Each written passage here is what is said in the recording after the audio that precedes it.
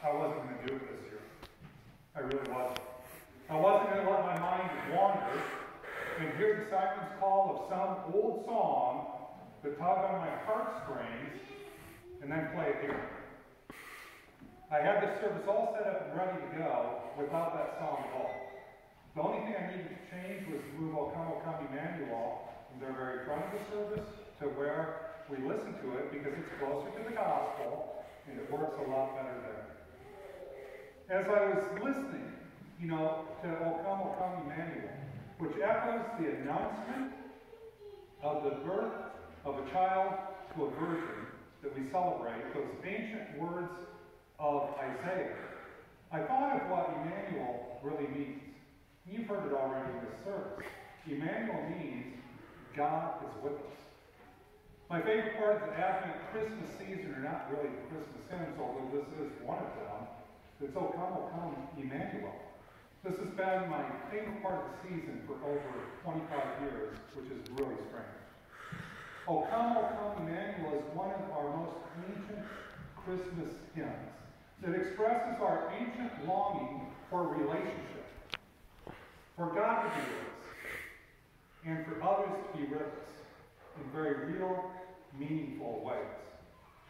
We were created to be in relationship with God and others. By ourselves, most of us are lonely people. Three Dog Night is right. One really is the loneliest number. While the lyrics of one aren't very sophisticated, they do convey the loneliness we all experience at times. It seems loneliness has been part of our human condition from the very beginning.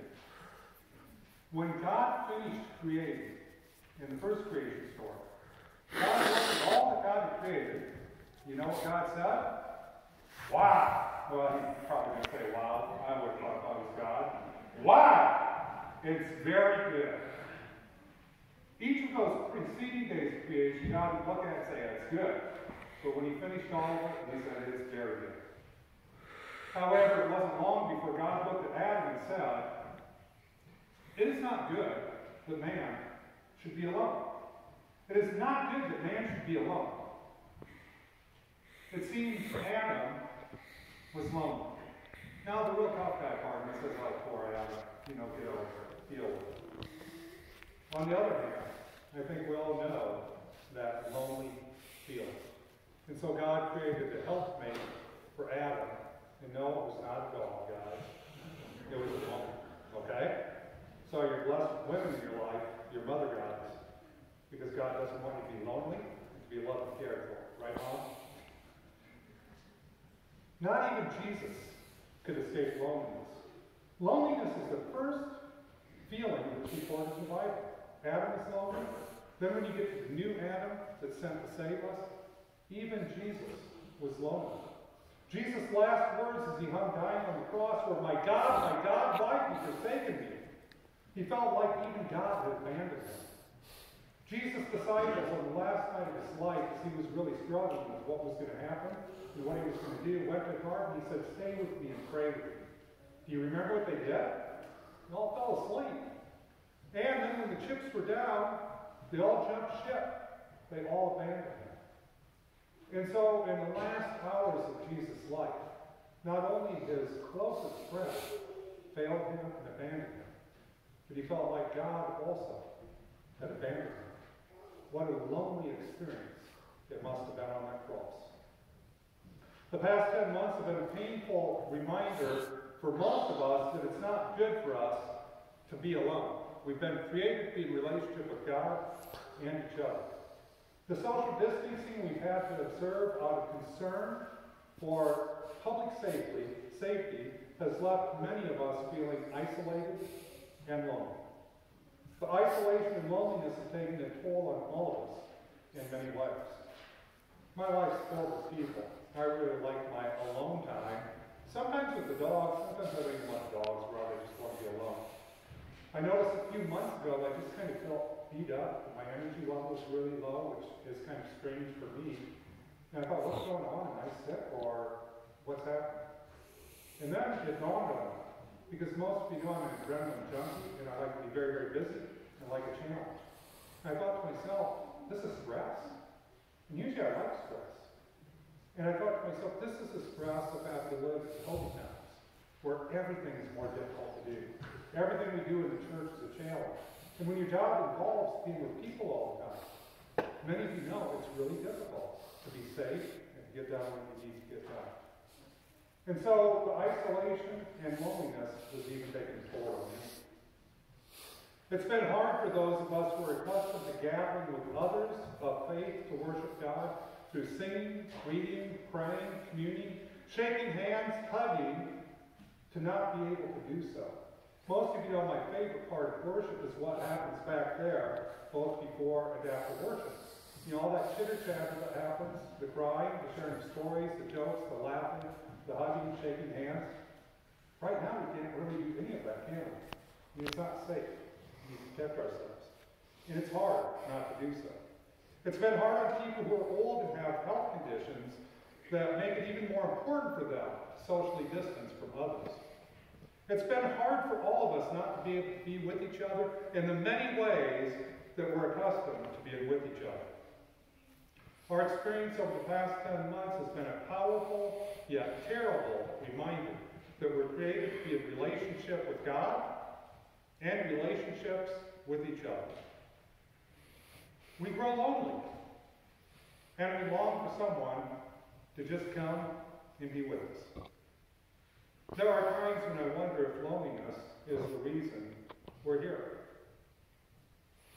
I wonder if God was lonely and decided to create us because God longed for relationship, for someone to love. If you paid attention at reading, you know, the second one we had tonight, First John, where the author of that letter talks about God being love. I mean, you know what love's like, don't you? I mean, when you love, it doesn't make a difference what you love. You want to reach out and touch somebody's life to care for them, whatever it is that you love. And so it's hard to love by yourself, isn't it? Love always needs an object. And so many of us believe the reason we're here is because, and it sounds really strange, God was lonely, and God was love. And so God created an object of God's love. And here we are. There are times I wonder if God's like us who have kids who sometimes look at them and think, why in the world did I ever do that? Imagine God has that experience too, but love's able to get us through those times also. Do you understand why O come, O come, Emmanuel, connected with my loneliness? O come, O come, God be with us. And triggered my memory of one by the Three Dog Night.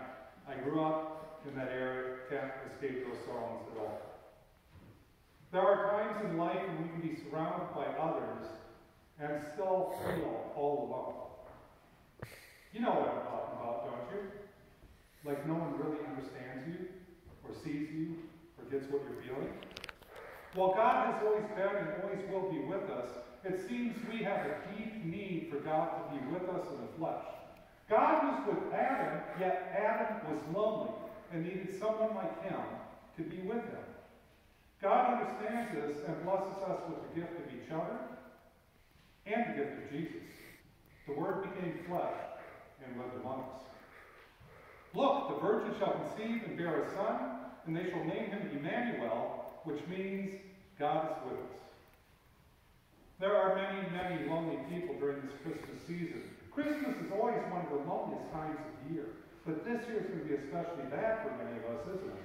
Because we're not able to gather with all those people that we're accustomed to gathering with and doing those things that bring joy to our lives. I'm certain many of you understand that loneliness we're experiencing. I know I am. Most of us long for our lives to be filled with others, laughing, drinking, eating, just being together and experiencing the joy of spending time with each other. That's probably not the way it will be for many of us this Christmas because of the threat of COVID. It's good to be here this evening, but the way we have to worship this evening is far from the way we really want to worship. Most of you have heard me sing, it's not very pretty, but I really, really miss it. There's something that singing does for us that touches our hearts.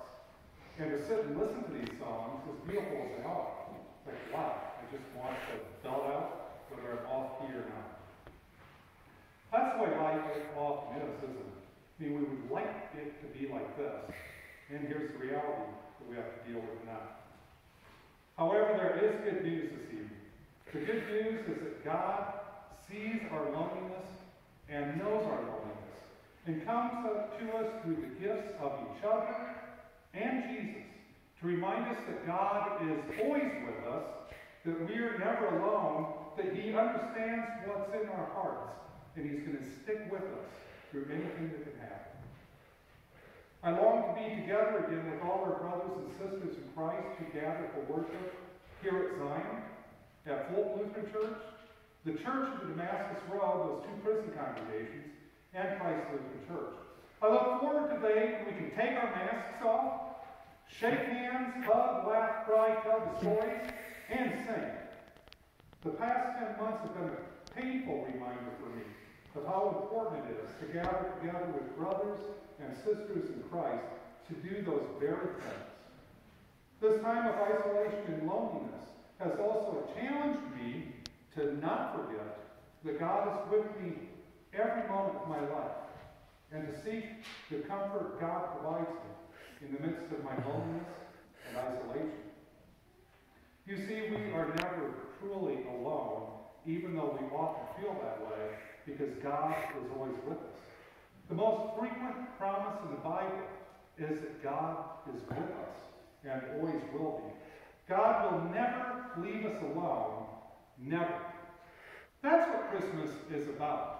It's about Jesus coming to us to say, look, the kingdom of God is here. God is with you. Repent and believe in the good news. It's about Emmanuel, God with us. God comes to us in the flesh of Jesus and each other but God also comes with us in mysterious, powerful ways to comfort us when we're lonely. When I feel lonely and long to be together with my brothers and sisters in Christ, I say to myself, you know, it really sucks not being able to be together with other people the way I always like being together with other people. But I'm not alone. God is with me.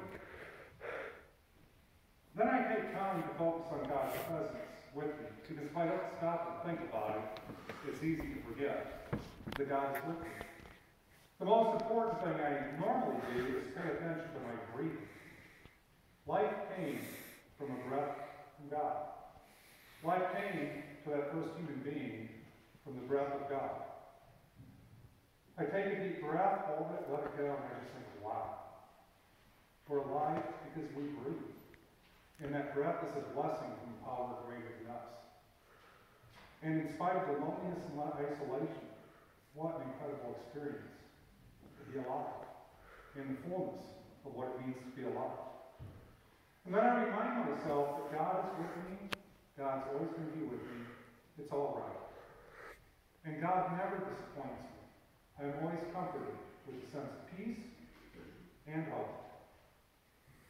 May we use this time we're spending in the wilderness of the loneliness and isolation to remember God's promise to be with us and be blessed with the comfort and peace that come from being aware of God's presence. The day will come when we'll be together again and be able to take off our masks, shake hands, hug, laugh, cry, sing, and do all those other things we want to do. And what a joyful day that will be. As sad as this Christmas season is, May it be a reminder of Emmanuel, God with us. That's the ancient cry. God, we're lonely. Come and be with us. And God says, I'm with you right now. Rejoice in that. May all of you be blessed with the comfort and peace of knowing Emmanuel has come. And God is with you now, and God always will. Amen.